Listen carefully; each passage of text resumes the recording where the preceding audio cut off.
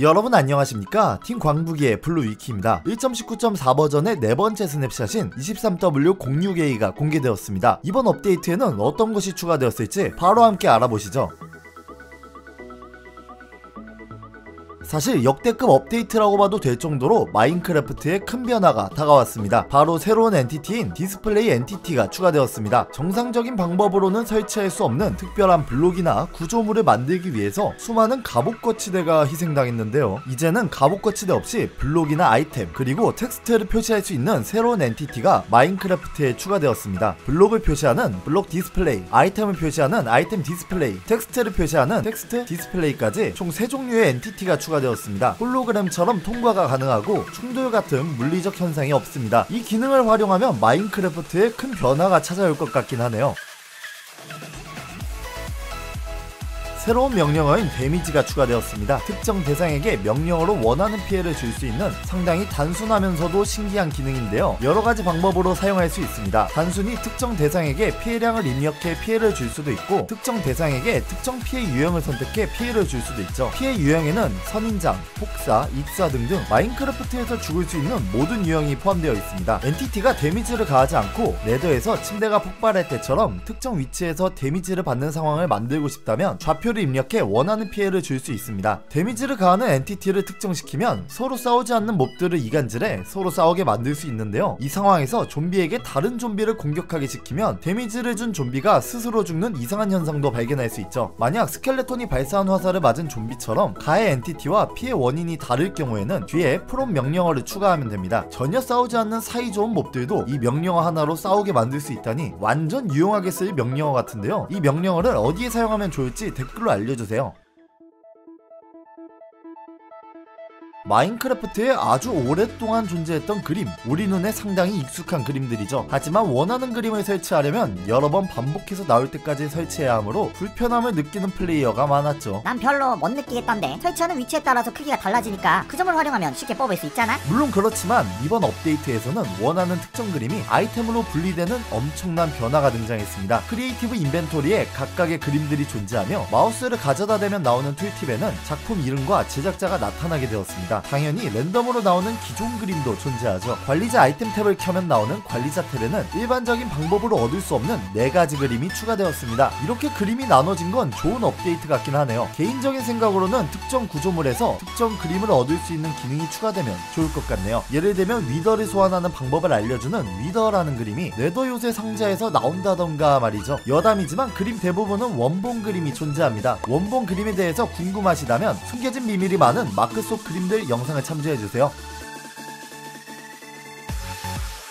새로운 세계 만들기 화면에 실험적 옵션이 추가되었습니다. 게임 탭과 기타 탭에도 존재하는데요. 이 옵션에서 실험적 꾸러미 아이템과 1.20의 새 기능 및 콘텐츠를 활성화할 수 있습니다. 물론 기존의 데이터 팩에서도 적용할 수 있습니다. 더 많은 플레이어가 새로운 기능을 쉽게 접할 수 있게 되었네요. 새로운 세계 만들기 화면에서 컨트롤과 탭키를 눌러 탭을 빠르게 이동할 수 있고 탭키를 눌러 다음 옵션으로 빠르게 이동 shift와 탭키를 눌러 이전 옵션으로 빠르게 이동 그리고 컨트롤과 숫자 키를 눌러 탭을 이동할 수 있는 기능이 추가 추가되었습니다. 키를 지정할 때 두 키에 똑같은 키가 적용되면 이를 알려주는 tooltip이 추가되었습니다. 데미지를 받았을 때 흔들리는 정도를 조절할 수 있는 데미지 기울기 옵션이 추가되었습니다. 기울기를 끄면 데미지를 받아도 화면이 흔들리지 않습니다. 새로운 게임 규칙인 덩굴 확산이 추가되었습니다. 이 규칙을 끄면 덩굴이 주변 블록으로 퍼지지 않습니다. 주크박스에 음반을 재생하면 음악이 나오면서 위로 음표 particle이 나오게 되었습니다. 블록을 올려도 음표가 나오는 특징이 있으며 차광 유리를 올리면 음표가 보이지 않지만 블록 내부로 들어 들어가 보면 역시나 음표는 존재합니다. 방어구의 철장식이 더 진하게 수정되었습니다. 알림 표시 시간 옵션의 이름이 알림 시간으로 변경되었습니다.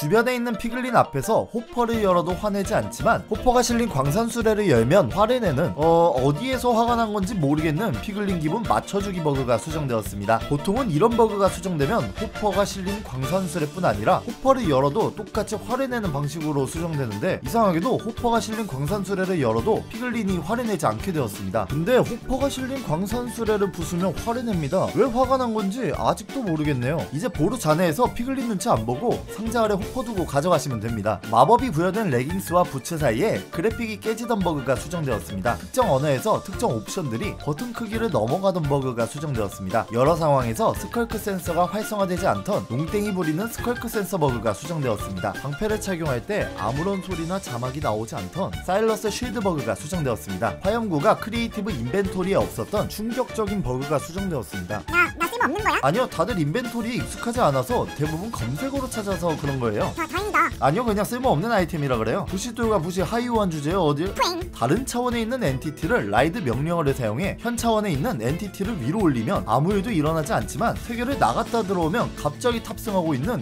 괴담급 버그가 수정되었습니다. 다른 재질의 방어구로 교체하면 당연히 장착 소리가 나지만 같은 재질의 방어구로 교체하면 소리가 나지 않던 마인크래프트를 속여버리는 버그가 수정되었습니다. 유효하지 않은 entity에 ride 명령어를 사용해 해당 entity에 탑승하면 탑승은 불가능하지만 해당 위치로 teleport가 되던 이상한 버그가 수정되었습니다. ride 명령어로 엔더맨을 탄 후 엔더맨의 얼굴을 바라보면 엔더맨이 미쳐 날뛰며 아주 빠른 속도로 순간 이동하는 엉덩이를 싫어하는 엔더맨 버그가 수정되었습니다. 방패로 공격을 막을 때 분명 공격을 막았지만 3인칭으로 플레이어를 보면 플레이어가 빨간색으로 변하고 화면이 흔들리는 막긴 막았는데 뭔가 기분 나쁜 버그가 수정되었습니다. 흉갑에 당연히 있어야 하는 픽셀 하나가 빠진 아주 스트레스 많이 받아서 머리털 다 빠질 뻔한 심각한 버그가 수정되었습니다. shift 클릭을 하면 아이템이 바로 이동하지만 모루의 두 번째 슬롯에는 아이템이 이동하지 않던 모르겠는 버그가 수정되었습니다. 보루 잔해의 호글린 마구간 상자의 전리품 테이블이 다리 전리품 테이블을 사용하던 버그가 수정되었습니다. 대장장이 작업대의 세 번째 슬롯에는 여러 재료의 실루엣이 loop하는데 유일하게 자수정 조각만 누락되었던 존재감 없는 자수정 조각 버그가 수정되었습니다. 귀속 저주가 부여된 방어구는 벗을 수 없으며 죽을 때까지 평생 입고 있어야 하지만 23W05A에 추가된 바로 갈아입는 기능으로 아주 쉽게 벗을 수 있던 버그가 수정되었습니다. 많은 플레이어가 고고학 업데이트로 추측했지만 이번 snapshot에서는 고고학과 관련된 요소는 크게 발견할 수 없었네요. 하지만 마인크래프트의 혁명을 불러올 새로운 디스플레이 entity나 서로 싸우게 만들 수 있는 데미지 명령어 등 여러 기능이 추가되었습니다. 아직 확정은 아니지만 개인적인 생각으로는 고고학 업데이트를 밀고 있는 이유가 마인크래프트의 전설, 즉 프리퀄로 추측되는 마인크래프트 레전드와 연결점을 만들기 위한 큰 그림 같은 건 아닐까요? 레전드 요소들을 마인크래 프트로 역수출시키기 위해 물론 저는 좋습니다. 역사가 있다는 건 괴담 요소도 많아진다는 사실이니까요. 이번 업데이트에서 가장 마음에 드는 건 무엇인가요? 그리고 다음 업데이트에는 어떤 것이 추가되면 좋을까요? 여러분의 생각을 댓글로 남겨주세요. 영상 재미있게 보셨다면 좋아요와 구독 꾹 눌러주시면 감사하겠습니다. 이라고 합니다. 뭐 확실한 건 아무도 모르죠.